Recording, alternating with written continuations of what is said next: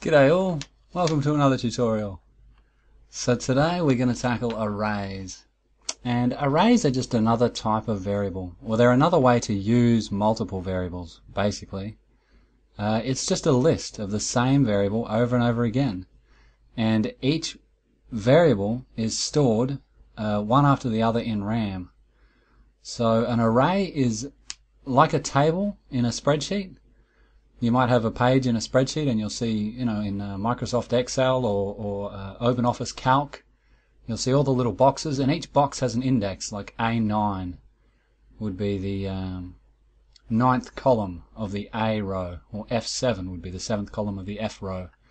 And in exactly the same way, an array has, uh, each item in an array has an index as well.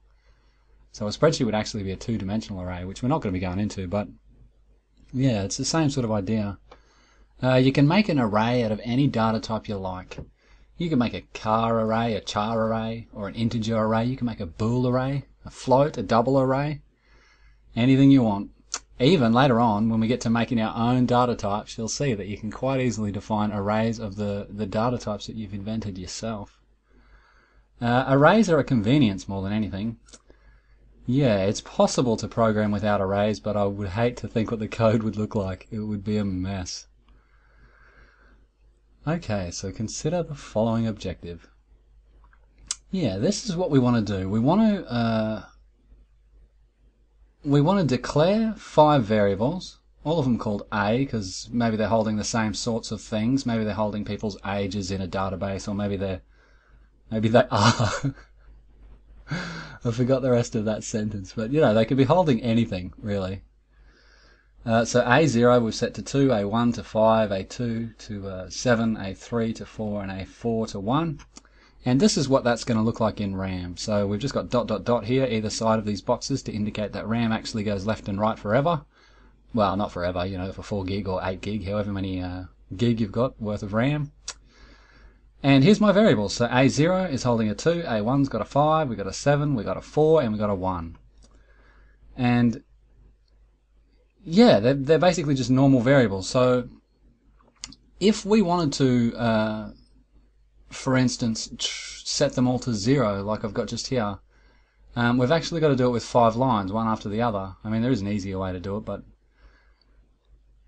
without using sort of pointers and, and underhand tricks, you know, you have to set them one at a time. So we'd have A0 equals 0, A1 equals 0, A2 equals 0, A3 equals 0, A4 equals 0. That's five lines of code and it's really boring to type. Uh, this is what that would look like in RAM. Fair enough. But in typing those five lines of code, you run the risk of, of you know, maybe saying A0 equals 0, A0 equals 0, and then forgetting to put A1 equals 0.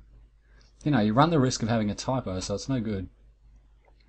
Instead, what we can do is we can use an array. And there's a few ways to create an array. We'll look at other ways later on when we're looking about uh, the heap and pointers and that sort of thing, but uh, this is one of the simplest ways. So we basically say a data type, then the name of the array, and then we open up square brackets, and inside the square brackets, we simply say how many items we want. And then we close the square bracket and put a semicolon.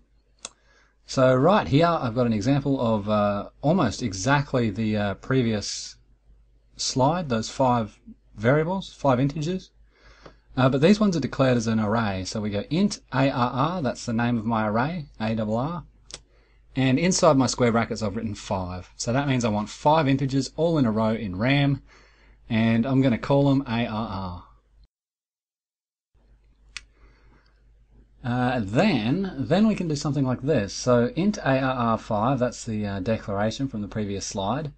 Uh, we can refer to the individual elements by putting the element numbers inside square brackets. So ARR and then in square brackets 0 is a perfectly normal integer variable. And we've set that to 2 just here. And that's actually the first uh, box in RAM of the ARR array. Likewise, we can set the uh, ARR element number 1 to 5. We can set number 2 to 7, number 3 to 4, number 4 to 1. Easy as that pretty much. So you just put the uh, element number that you want to set in the square brackets and then you've pretty much got a perfectly normal integer variable. And this is what it looks like in RAM. Almost identical to the previous example when we, when we uh, declared them at at the start as integers. That's meant to be a lowercase a just there. Yeah, I hope I've got my cool cursor up. I tried to make it a, a magnifying glass. I hope it shows up. It's really good. Anyway, that aside, um, ARR0 has a 2 in it, ARR1 has a 5 in it, uh, we got ARR2 has a 7, ARR3 has a 4, and ARR4 has a 1. But you can basically see that we've got exactly the same thing pretty much as the previous example, only this time we've got um, the ability to use these uh, element numbers in the square brackets. So we've just got five variables, they just happen to be called something slightly different.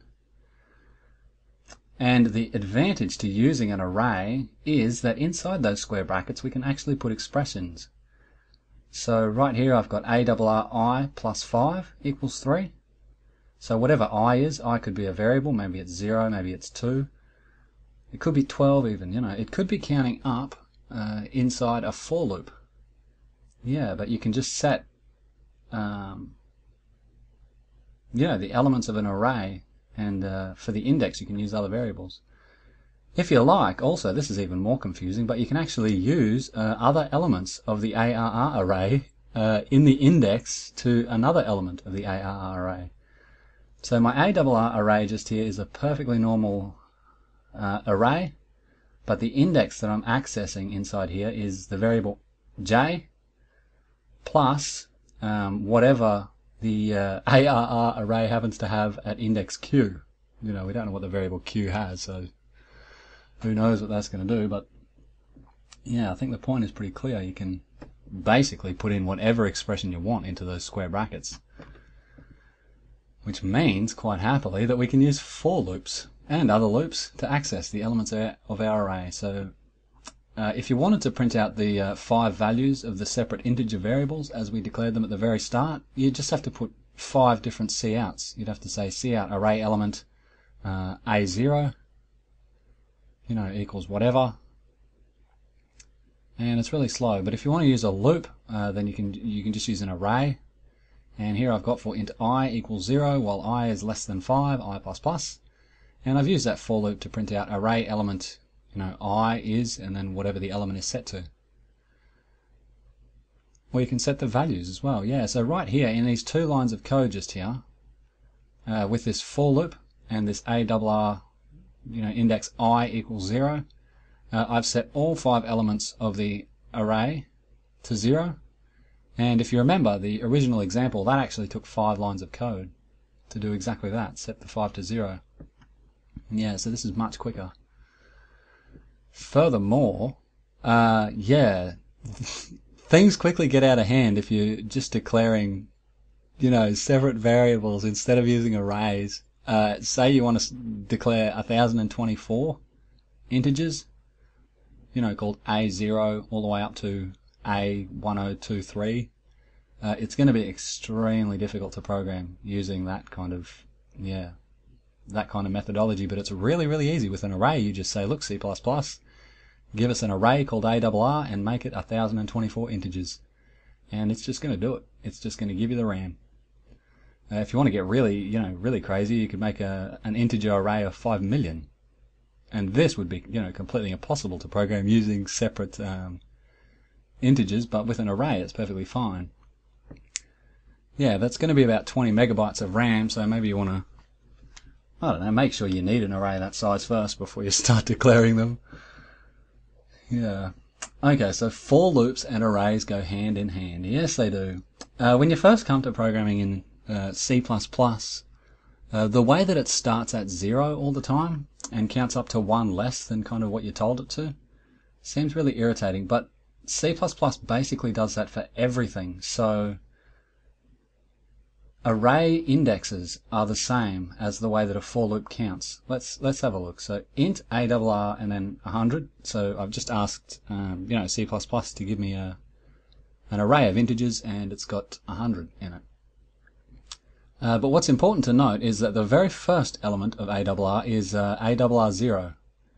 It's not ARR1, it's ARR0. And the very last element of ARR is ARR99. So it's always one less than what you put in this bracket here. Uh, that is actually 100 elements from 0 to 99. And it also happens to be exactly the way that this for loop counts. So this is a really, really common for loop. Um, yeah, I've used P for some reason. I don't know why I didn't use I again, but I used P just for a bit of something different. Uh, anyway, for int p equals 0, while p is less than 100, p plus plus, that loop is going to count with p exactly the same way uh, as the elements of the ARR array are numbered. Oh, this is getting confusing.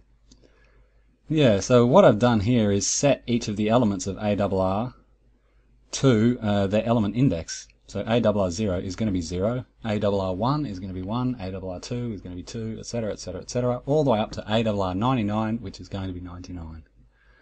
And the only thing to remember uh, when you're using for loops to iterate through an array like this is that you start with 0 for a start. They always start counting with 0, these computers.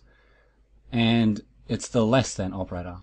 Yeah, don't use less than or equal to, use less than. So for p equals 0, while p is less than 100, uh, counts exactly the same as the indexes of an array with 100 elements.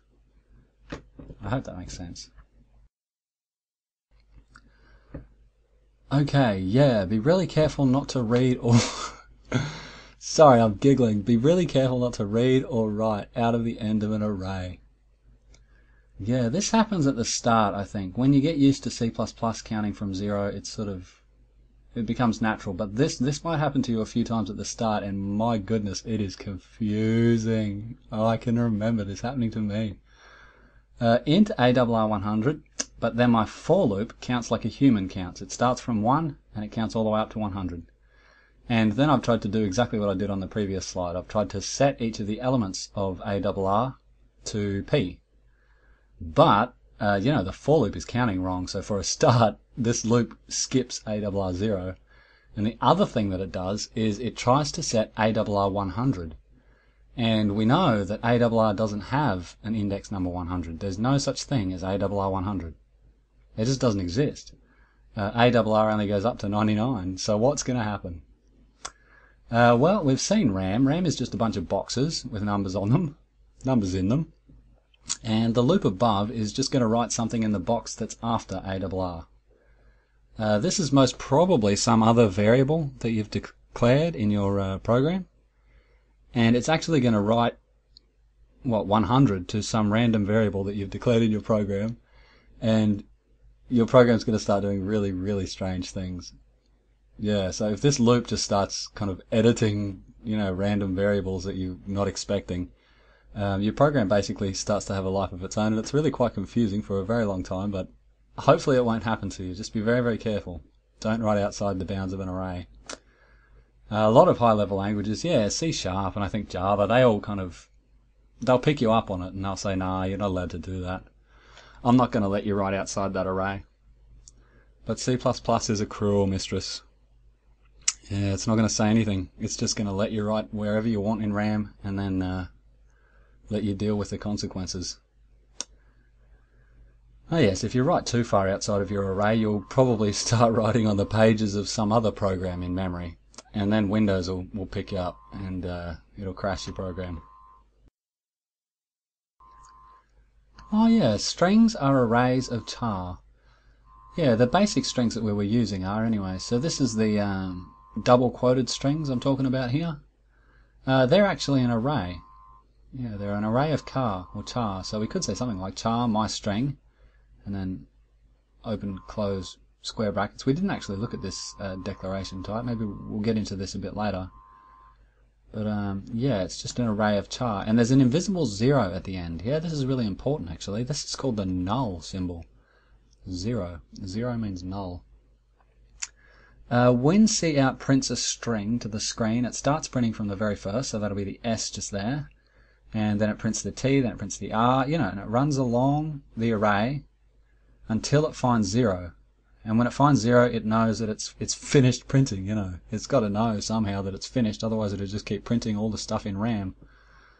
Um, yeah, so this is the RAM, this is what this array would look like. My string in RAM would look something like this. S-T-R-I-N-G space A-R-R-A-Y exclamation mark zero.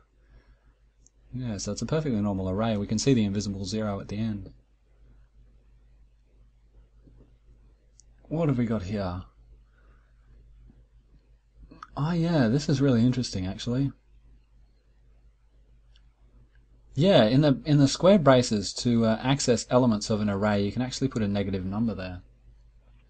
And that means to read um, not from the start of the array, you know, the box at the start of the array, but read left of the array. So this one just here is um, read the first integer that's before the param ptr array. And this one is read the second integer that's before the param ptr array. And I don't know how good this example is, it's probably a bit kind of premature me, of me to put something like this in to the tutorial, but I just wanted to point out that, yeah, you can use negative uh, values in your indices for an array. Anyway, don't worry too much about that at the moment, that's just a bit of fun. And uh, I think that's about it. Yeah, so thank you for listening. That's arrays, folks. Go out, enjoy them, they're great fun. See ya.